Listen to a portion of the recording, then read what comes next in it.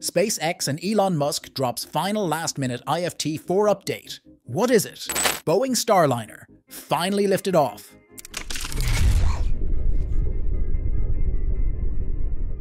Hey, I'm Lucas. Welcome to the SpaceX community. Let's get started.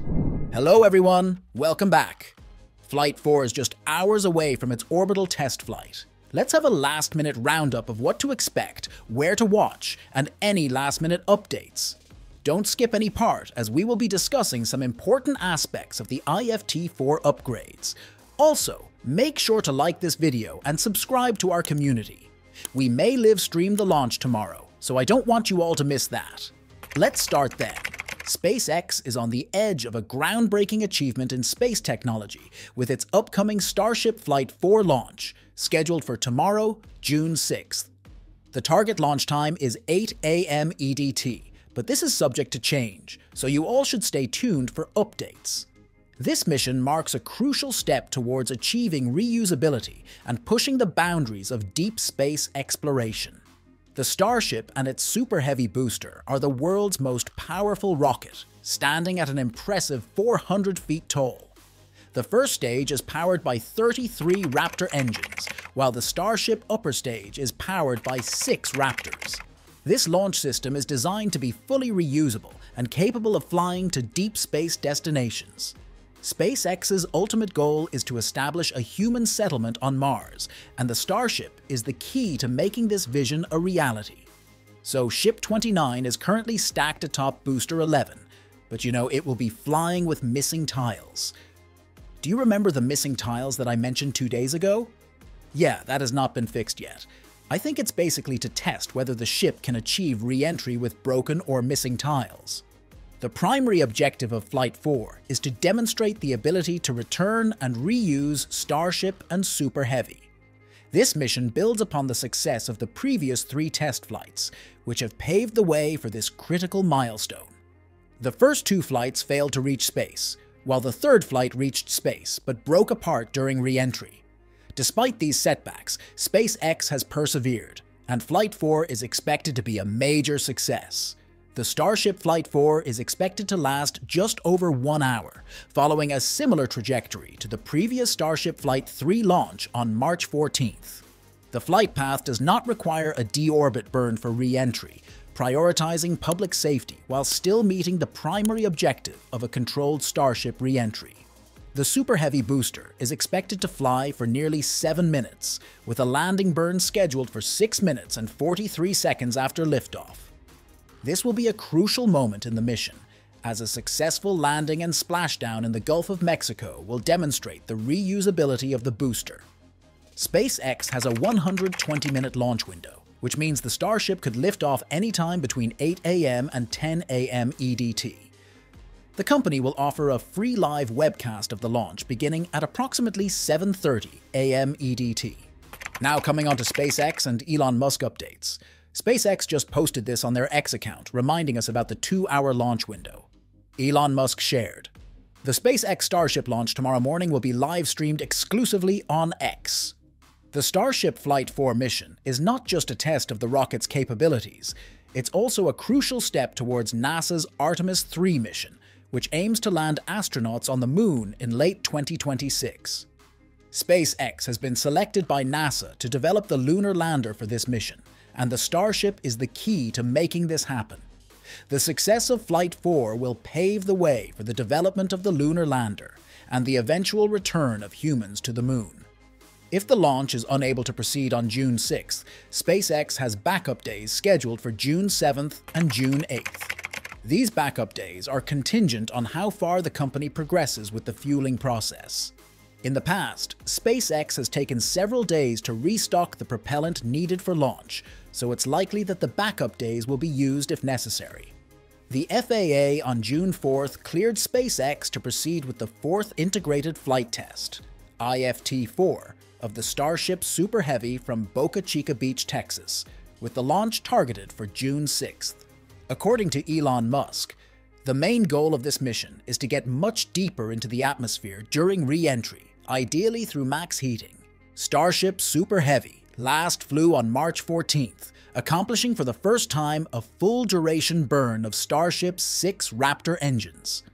During the coast phase, Starship opened and closed its payload bay door and transferred propellant from a liquid oxygen header tank into the main tank, a demonstration in support of upcoming missions for NASA's Artemis Moon program. However, several minutes into its coast, Starship began losing attitude control, prompting cancellation of a third test to relight a Raptor engine in space. The lack of attitude control resulted in an off-nominal entry, with the ship seeing much larger than anticipated heating on both protected and unprotected areas, SpaceX wrote in a May 24th program update. Telemetry was lost at 40 miles in altitude, roughly 49 minutes into the mission. SpaceX says clogged valves most likely caused the unplanned roll. That has been addressed for IFT-4 with upgraded hardware to mitigate blockages and additional roll control thrusters to improve attitude control redundancy. A successful simulated landing for the Super Heavy booster is the other top objective for IFT-4. On the last flight, the Super Heavy ignited 13 engines as planned for the boost back burn after stage separation, but six of the Raptors shut down early. The booster continued its descent toward the designated splashdown site in the Gulf of Mexico, but was unable to restart the same 13 engines needed for the landing burn the six disabled engines could not be restarted, leaving seven for the burn. Of those, just two operated successfully, scotching plans for a soft, controlled touchdown in the water. SpaceX lost contact with IFT-3's booster just under 7 minutes into the flight, when the Super Heavy was about 1,516 feet above the water. The most likely root cause for the early boost backburn shutdown was determined to be continued filter blockage where liquid oxygen is supplied to the engines, leading to a loss of inlet pressure in engine oxygen turbopumps, SpaceX wrote. The company had made hardware changes ahead of IFT-3 to mitigate this issue. For IFT-4 and future flights, the booster's oxygen tanks were modified further to improve propellant filtration.